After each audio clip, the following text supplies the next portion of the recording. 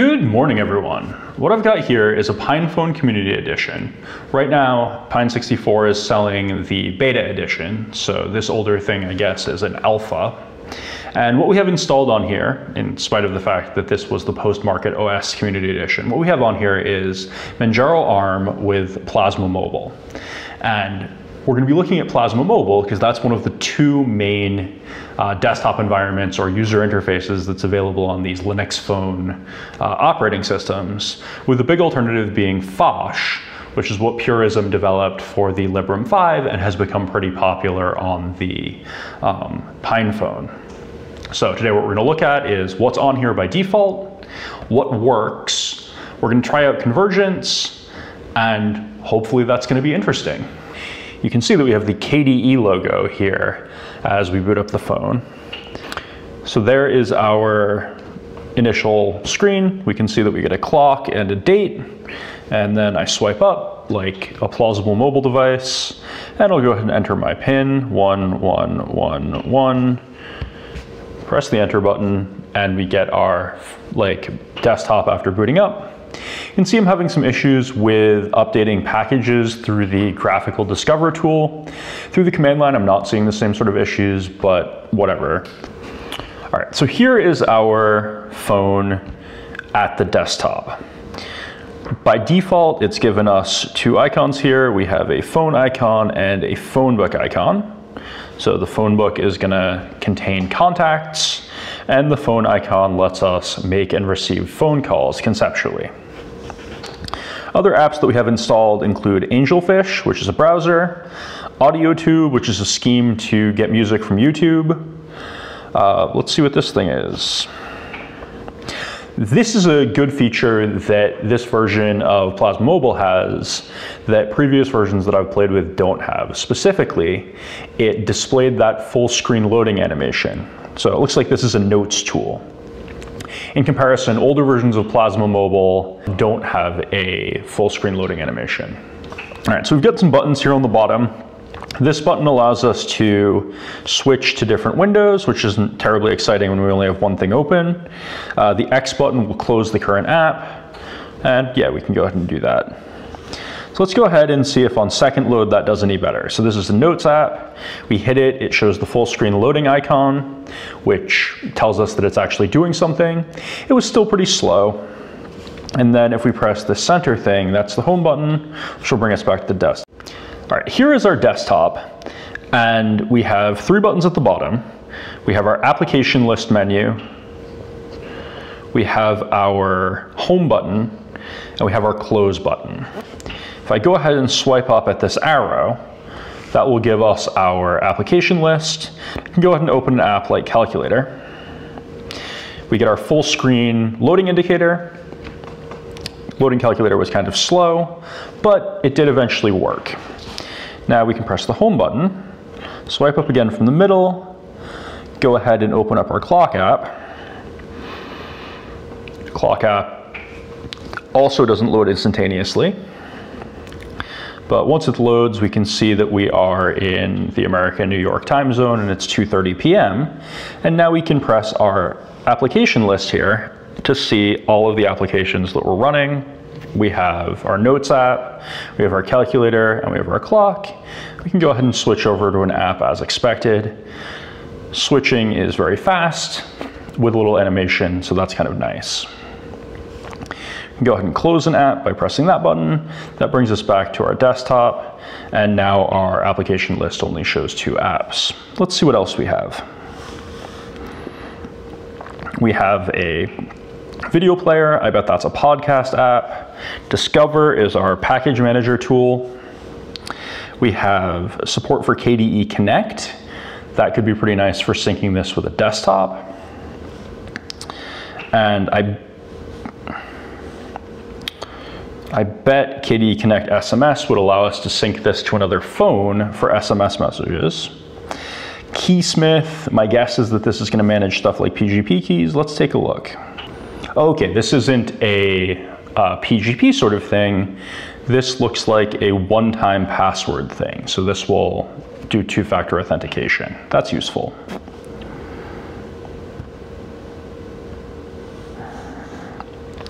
uh, photos, something. Megapixels, I think, is the camera app. And let's see if we can get any camera result.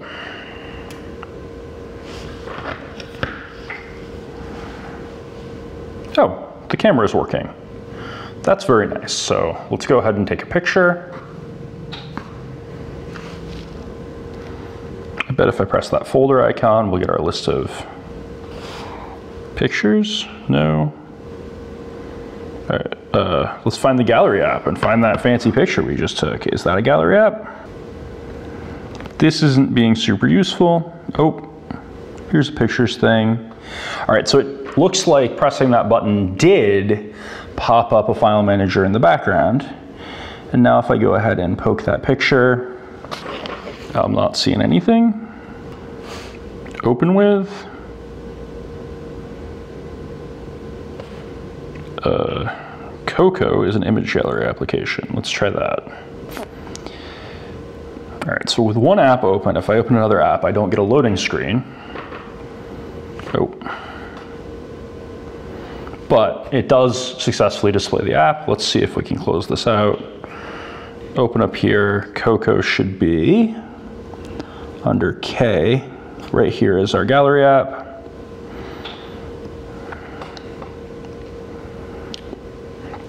And there's the picture that we took. Now there should be a front camera on this. Let's see if we can figure out how to make the front camera work. So I open up megapixels.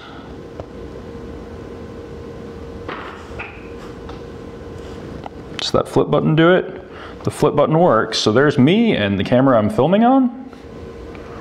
Can I take a picture with that?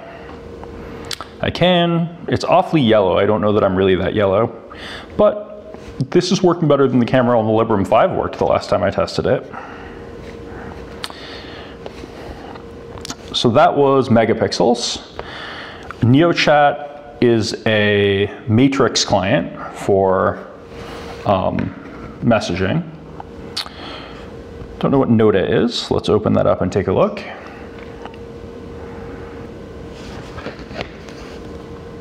It's a text editor. Okular is a viewer for stuff including PDFs, phone, phone book, that makes sense. pSensor, I wonder if that's gonna give us some access to the phone sensors. Looks like we have some temperature sensors. Amazing, that's not that exciting. Uh, doesn't seem to be overheating though. Recorder probably records audio. Let's give that a quick go.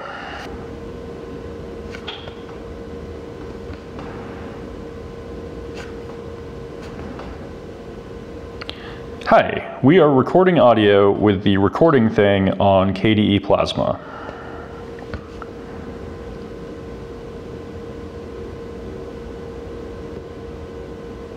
All right, it totally said we recorded something and then it lost it. Let's see if we can find that in the file manager. Just index the file manager. Home, nat, uh, music.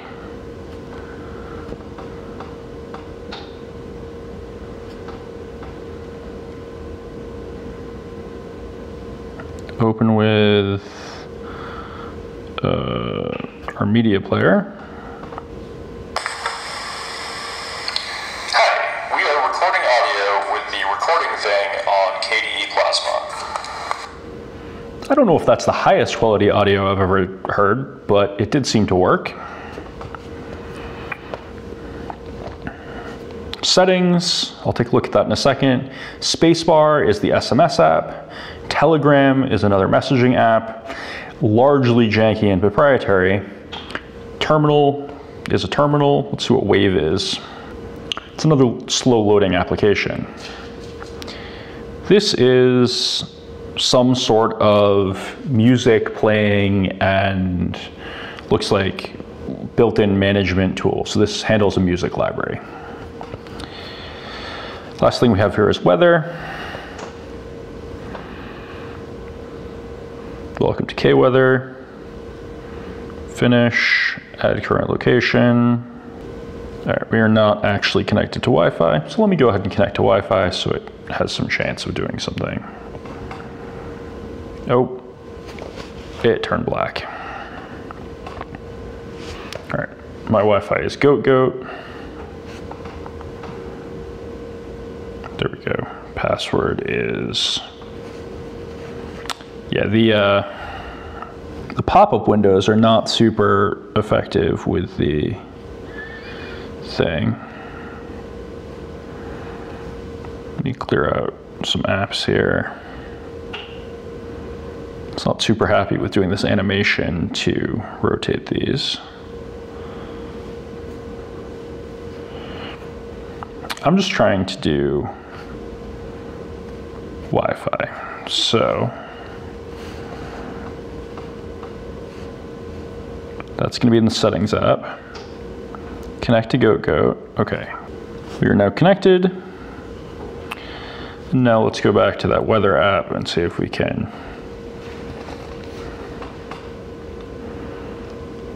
figure out what's happening. I think that's a menu button, but it's not doing anything. Oh, locations. Add a location. Search for a place. Uh, let's go with the capital of my state, Concord.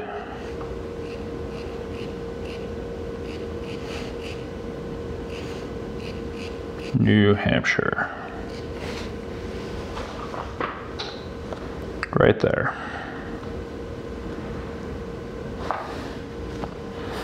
Weather is 20 degrees, that must be uh, Celsius, partially sunny. That seems about right. Are there settings to set this to be freedom units? Yep. So there is the weather app. It's not what I want. I want to go home. All right, so those are all the apps pre-installed on this phone. I tried plugging in a Verizon SIM to see how this thing does as a cell phone, and the results weren't great. The first thing I tried was mobile data, and that didn't work at all. That sort of surprised me because the previous test I had done with a Linux phone showed that only mobile data worked but I guess the results that we're gonna get are going to vary by modem, modem firmware, operating system, and potentially desktop environment. I tried doing a voice call and I got mixed results on that. First thing, it only successfully connected on an outgoing call. Trying to receive an incoming call didn't work at all, and even with the outgoing call, the audio was completely corrupt.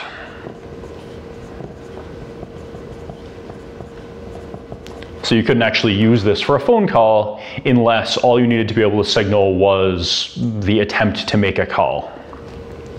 SMS text was a little bit better. Again, we only supported an outgoing SMS text message, but the SMS text message worked fine. When I did the incoming phone call and incoming text message, text message test, the phone just didn't do anything. It didn't, uh, didn't give a notification or other indication that something had happened. The next thing that I want to try out is convergence, which I haven't tested before either with the PinePhone or with the Plasma Mobile uh, desktop environment for a Linux phone. So what I have here is the PinePhone. PinePhone is hooked up by USB over to this convergence docking thing, which came with the PinePhone convergence setup. This has four things connected to it. Power, we have keyboard and mouse, and then we have an HDMI cable. The keyboard and mouse are right here. And that HDMI cable goes over to this HDMI capture device. The HDMI capture device passes through to the monitor here, which you can see has the um, Plasma Mobile desktop running on it. But the capture device also has this USB cable, which comes over here into my laptop, which has OBS running on it, which I'll be able to use for desktop capture. Here is the Plasma Mobile desktop in convergence mode. It looks basically the same as it looked in phone mode, just the icons are a little bit smaller and now we're definitely in landscape mode. So in order to get our app list, we can go ahead and click this button and we get a list of the apps installed on the machine. I'm gonna go ahead and start off by opening up the web browser and see how that works. We still get this full screen loading thing. And one thing that you'll note here is that we don't have any of the control buttons that we had at the bottom of the screen before. So the web browser loaded up nicely, but it's completely full screen. There are no uh, title bar buttons. There's no X in the corner that we can use to close this. And there are no uh, sort of phone buttons at the bottom. So we don't have a close button there either. But we can go ahead and visit a website. Uh, xkcd.com is a fun one. And that loaded fine. Let's go ahead and try something a little bit more difficult. Let's look at, oh, Control L didn't give me the thing, so I'll click here. Uh, slither.io.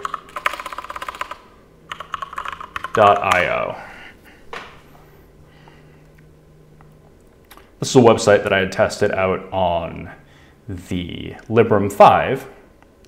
And it looks like what's going on here is that it's loading at best very slowly on the PinePhone in this uh, Angelfish browser, which is okay. I don't know if the Angelfish browser supports WebGL or anything like that at all. Next up, what if we want to quit out of this? Well, the first thing that I'm going to try is pressing Alt-Tab, and that didn't do anything. Oh, it might have. If I hold down Alt and press Tab, we get the, uh, the application list. So maybe there's some sort of, oh, there's the Slither.io nickname thing. Let's, uh, that did actually work. Let's go ahead and type in a name and then click play and see if we get anything at all.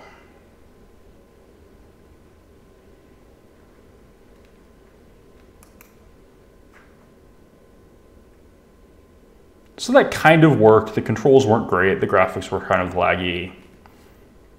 I'm not motivated enough to actually download uh, Chromium or something to try this out more, but it did eventually load. It was just a little bit slow.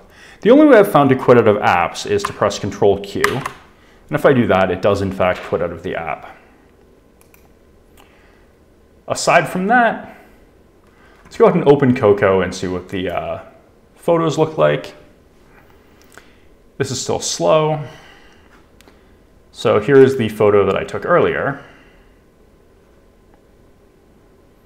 And again, we're down to effectively no controls. We can switch between different photos that we took, but all we have is this menu thing. Aside from that, I don't even think I can, oh, there is a back button here that I can use.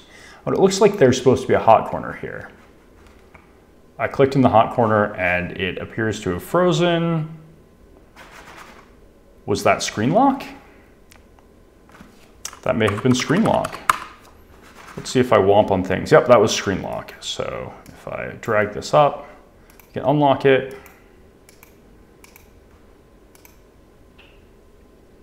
And that uh, is still slow. I would like a desktop. There we go. Full screen terminal window loads up. And I mean, we have a working command line interface here. So that's fun too. I think that's all I really want to look at as far as this conversion setup. It seems to basically work, but the, the user interface isn't completely like built out to deal with it properly. Let's go ahead and take a look at the settings thing while we're here in convergence mode and it's a little bit easier to see everything that's going on. We have online accounts with support for OwnCloud, Nextcloud, and Google. OwnCloud and Nextcloud are potentially good. I don't necessarily recommend setting up your uh, Linux phone to hook up to your Google account. We have the normal audio setup this looks like just pulse audio audio control through the KDE desktop. It's claiming that we have Bluetooth support. I haven't tested that out yet. The cellular network thing will give information about a SIM card that's installed. I couldn't get the access points thing to do anything. We have KDE color schemes.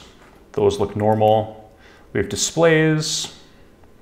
And right now, apparently, our setup is the monitor that I'm using and the phone screen is right over here. Let me go ahead and, uh, you can't see this, but I can see that if I bring the mouse pointer off the side here, it is showing up on the phone screen. User interface fonts, Wi-Fi. Oh, there's support for a Wi-Fi hotspot, at least in the user interface. If I could get mobile networking to work, that would be fun to try out icon theme, software versions, languages, night colors, lock screen pin. That is something that I wanted to complain about. We have the same problem here that we had with the Phosh desktop environment where there is a numeric pin that's used to unlock the screen. And the implementation of that is that that is your user password for Linux. So you can't set a real password which means that if you enable password logins via SSH or otherwise, it is horribly insecure. So pins for unlocking the screen on a mobile device should be a separate concept from user passwords on a Linux system. We've got some style stuff here. We have uh, screen lock timeouts. Um, I haven't been able to get screen locking to completely get disabled. I would like it to be completely disabled because it's obnoxious for testing. But again, just like Phosh, properly managing screen locking isn't entirely working with the Plasma Mobile setup. The virtual keyboard on this seems okay, but it's not great. I think the one on Phosh is a little bit better. And we've been doing the network connection here on Wi-Fi. Wi-Fi seems to work fine. All right, so that was the settings and a little bit of notes on this. So that is the convergence experience with Plasma Mobile on my PinePhone using Manjaro ARM. Mostly the stuff seems to work. With a little bit more polish, this would be a nice experience. I think it's a little bit behind Phosh, but Phosh isn't all the way there either. Overall, I don't think that Plasma Mobile is quite suitable with convergence as a laptop replacement just yet. Thanks for watching. Go ahead and click on the link down in the description and follow my RSS feed. That way you won't miss anything I post in the future. Have a wonderful day.